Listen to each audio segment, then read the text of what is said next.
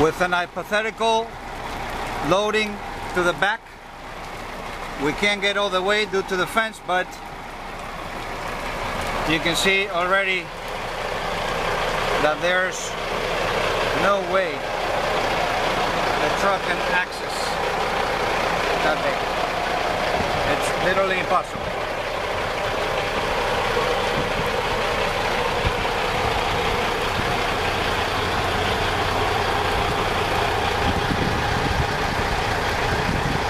The two bays in the corner are completely blocked by the poor planning of the traffic flow in this building.